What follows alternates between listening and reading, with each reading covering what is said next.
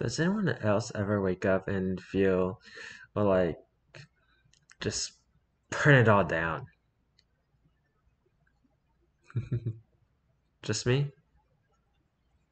Alright.